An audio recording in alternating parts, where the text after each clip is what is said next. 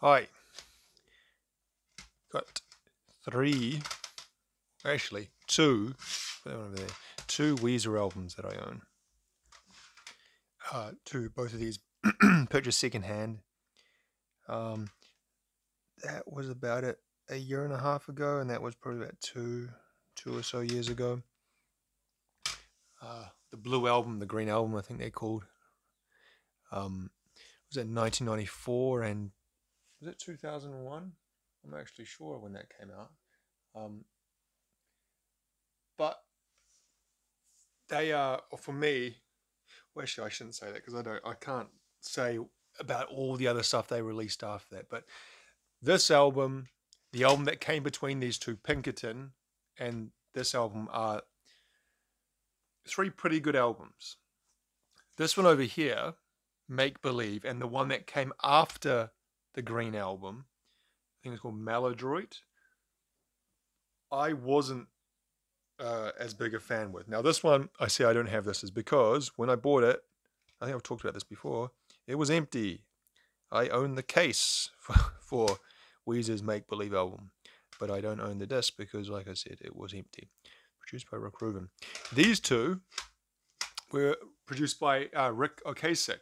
Is that how you pronounce his name? Ric Ocasek, the guy from the Cars, the main. I think he's the singer of the Cars and the main songwriter of the Cars. Um, he produced these two, and he also produced the Red album, I think, which actually is not that bad either. Um, I haven't listened to it very much, but if I some of the songs on the album I do like. Which is the album that's got Beverly Hills on it? Because I don't like that song Beverly Hills. I think that's one of the worst songs Weezer. Certainly the worst single they ever released. Um, is that on this? it's on this one here. Um, anyway, so talking about these two albums. So this came out. I remember when this came out in 1994. Um, when I was a young teenager, and I think the first song I ever heard was Buddy Holly, and saw the video for that, which is if you haven't seen it, is it like a um, kind of like a parody? Well, not really a parody. It's like they almost like put into a Happy Days.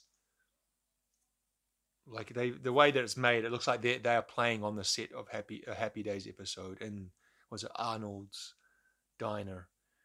They kind of cut it together with footage from Happy Days, and you know, and um, they're all wearing, you know, they're all made up to look like they're in the fifties, nineteen fifties, or whenever Happy Days was set. Was it set in the nineteen fifties?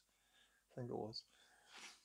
And so that was kind of, um, I think, how they found their initial fame. I'm not sure if that was the first uh, single. I think actually Undone might have been the first single off this album. But I'd say for at least in my country, uh, Buddy Holly was the one that kind of uh, broke them. Maybe you'd say. Um, I was right. Undone was the first single, but it says that it was it was directed by Spike Jonze. So it's kind of interesting that they must have had quite a bit of um, hype behind them. If they got Ric Ocasek to release the album, they're on Geffen, and Spike Jonze directed their first video it sounds like they really had the uh, the machine behind them, didn't they? And it says uh, it featured Weezer performing, yes, blah, blah, blah. The video became an instant hit on hit on MTV. Jonze also directed Buddy Holly, splicing the band with footage from the Happy Days. And it achieved heavy rotation on MTV. The other song from this album uh, that I think, for me, kind of a, probably is my favorite Weezer song. Uh, yeah, at least being top five is "Say It Ain't So," which is probably one of their most famous songs as well. Um, that's really a a like a kind of a, a, a perfect song. Like I think that song is like one of those songs. I'm not saying it's like a, the best song ever written, but it's like some songs I just feel like have everything. Like that song that has kind of the quiet verse uh, he kind of sings quite softly and in some parts in kind of falsetto, and then the chorus comes in quite big. And I really like the solo of it and the kind of the bridge part. and the um and the kind of calm outro, the resolution back again of the kind of same strum guitar as, as the as the introduction. uh, so the lineup at this period was uh, Patrick Wilson, he's still in the band. Rivers Cuomo, who's the singer and main songwriter, and Brian Bell. So those three are still. Uh, that was the bassist at the time, Matt Sharp, and he was replaced um, after Pinkerton during the Green album with Mikey Welsh, and then after that, that guy Scott something can't remember his name. Um, but like I said, um, I'd say actually I don't know what I'd say. I was going to say most fans. Actually, I have no idea what the average Weezer fan thinks. All I know is that they've released a shitload of albums, especially in the last ten years because I went through their discography and half the albums I didn't even know they had released. I knew they released the one with a dog on the front, the one with the fat guy from Lost, the Red album, and then I also know they did kind of a a um, an album of like 80s covers. I don't even know if they're all 80s covers, but I think that was the Teal album where they did that cover of Africa. But they actually done a whole lot more in between those things I just said. Um, and just from kind of uh, kind of half taking notice of them and reading reviews of stuff over the last 10 or so years. At least a lot of those those albums get very mixed reviews. Um and it seems like a lot of people don't like them as much. Um i used to have pinkerton. I bought pinkerton secondhand back in would have been like 2000 2001 and I really like that album. I'd say that's my favorite Weezer album. Um, I like the production on it. Like that first song, I think is Tired of Sex is the first song. First time I heard that, I remember the first time playing that CD, it's got like a really live sound. It gave me the feeling of watching a band live. And there's not many times where I listen to an album you know, a, a recorded in a record studio where it really gives that feeling of live performance. Uh, especially this kind of band. And but that that first song, Tired of Sex, the, the first track on Pinkerton, I still remember the first time hearing that. I was in a car and I was in a car CD player. And the way it just kind of starts off, there's like a bit of feedback, and then the drums, the drum got a very live sound. The bass, it's kind of quite raw sounding. So yeah, quite just different about it. Um, don't actually know who produced. Oh, they produced it themselves. Weezer produced Pinkerton. Um, El Scorcho was the was the with the big single, not the big. It was a single off that. I think the album didn't do as well as they had hoped off the back of the Blue Blue album, and so they had a bit of a a, a gap between that and this. And like I said, in that time, uh, Matt Sharp left the band, and he I don't know if he joined another band or it was it was his band he always had called the Rentals. I've never actually heard anything from the Rentals, but I have heard the kind of I get what would you call it the narrative that since Matt Sharp left, they've never um, captured that same brilliance that they had on the Blue Album and Pinkerton. Is that true? I don't know. Mikey Welsh or Welch joined in this period, I think just for one album.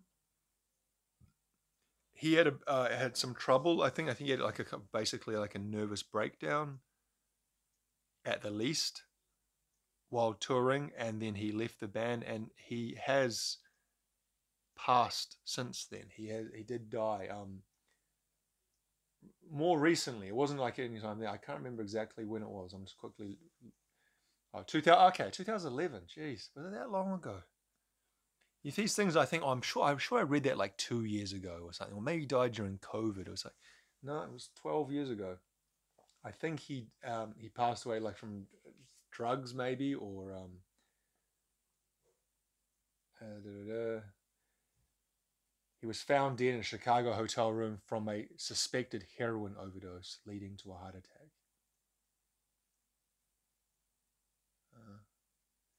So yeah, he kind of um, you know, I'm sure he had issues before he was in Weezer, but a lot of times being in a big band and finding that kind of um, fame can uh, exacerbate them. But he also he was I read that he was with Juliana Hatfield, like he recorded her with her before Weezer. Not that Julia Juliana Hatfield has that particularly. Um, she's not as big as Weezer, would you say? No, I wouldn't say she is. Um, anyway, this album, I think this is a good album as well. As as much as people say that maybe they lost the magic after Matt Sharp left, I think this is a is a, a decent album. Um, looking at this, uh, I don't like "Island in the Sun." I never liked that song. I don't like the kind of uh, the hook, the hip hip thing. Uh, I like I really like Hash Pipe the first time I heard that. I think that was a really good single. I like Don't Let Go. I liked Smile. Um, so yeah, only two, and I don't have the album that I really really like of theirs. There was actually a chance I could have bought it online. Someone was selling it, but I was for whatever reason, I remember it was there and I planned to get it. Maybe I just forgot about getting it or something. He was like selling it for like five dollars, which would have been like a, pretty good price to pick it up for. But anyway, like I said, I, was, I bought this. I picked this up and I thought, oh, okay, Weezer. I've never actually listened to this album the whole way through. I'll pick that up and I got home and usually I check inside. Nowadays, I almost always check inside, but uh, I didn't at this this uh, particular day and yeah. So I keep this on the off chance that I come across the disc, or more than likely, I'm probably just going to take out the uh, the um, booklet and the backing card and put it use it for uh, something where I need a new case, jewel case for. So yeah, that's kind of a a bit of a um, a largely pointless video, isn't it? Just vaguely talking about two Weezer albums I own. Uh, this you can see this one. The condition isn't great because the um, booklet is been ripped some for some reason. I don't know. That wasn't me. That was like someone's tried to put tape on there, and that wasn't me either. Pretty simple liner notes. Uh, all songs written by Rivers Cuomo. So you hear that he's quite a control freak. And I remember reading a story, this was a long time ago, but apparently, if any of the other band members made a mistake on stage, like, I don't know, played a bum note or something, they were fined by him. They had to pay a fine, which seems a little bit ridiculous, but um, yeah. He kind of um, he always kind of portrayed himself as you know in that kind of geeky, nerdy way with his with the glasses and things, but also I I heard a, a, interview he did with uh, Rick Rubin in the last two years, and he actually sound, sounded relatively normal. And I'm saying that because there was a period, I think it was around this period, around after Pinkerton, there was a lot of press for the Green album because they had gone kind of into a hiatus and I think he had gone back to well not gone back. He had gone to Harvard University, and um, and there was all that other stuff like he would had a quite bad depression and stuff. And then some of the interviews of around this period, he seemed quite strange in the interviews, almost a little bit like autistic.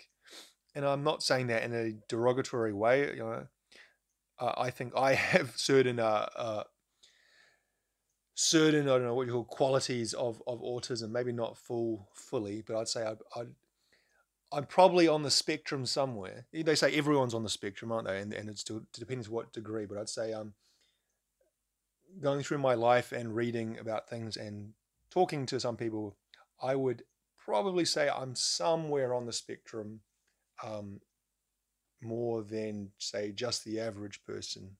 But he's uh, Rivers Cuomo seemed very yeah, quite strange in his in his interviews. Uh, quite, I don't know, aloof and um, almost it almost seemed like a bit uh, affected, like it, it was an act or something. Because then after, like I said, I've I've seen and read and heard interviews with him after more recently, and he doesn't seem like that at all.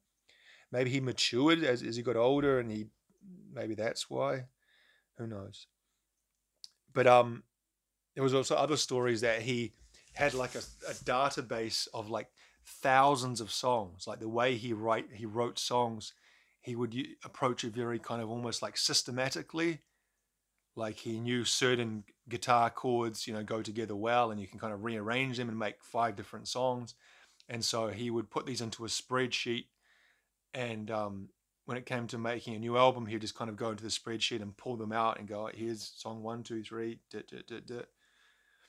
Again i don't know how true or not true that is or you know whether that's kind of just part of the uh, the mythologizing of uh, rivers cuomo um, but yeah, like I said, in the my feeling now is just again, just from kind of like I said before, kind of half taking notice of them and what they've done. It seems that they just there's always new releases coming out, and that um, a lot of those albums don't get particularly good reviews. And that that uh, cover they did of Africa, I didn't like that. I I really don't like I've talked about this before, kind of stuff, but I don't like when bands do almost kind of like jokey. If it's if a band is jokey through and through, and that's their shtick, that's fine. You want to kind of be like a, a a band with comedy at the forefront of your of your of your art, then I don't have a problem with that. But bands that kind of throw it in here and there have kind of like I can't even really define what I mean, but a band like Weezer that are in every other way a normal band. Then they release an album called the Teal album, and then I've seen like videos and even live footage, and they were wearing like pastel colored 80s suits with like shoulder pads, and they were doing 1980s style covers of like Toto, and I don't know the other bands they did, but uh, it's like you're like a I don't know, like a, a tribute band or a, like I said, a novelty act, and it's I don't know, kind of like it's like a what do you call it? It's like degrading your own band. It's kind of like treating your band as though they're like uh, I don't know, like a joke. Anyway, I'll leave it there. Thank you for watching.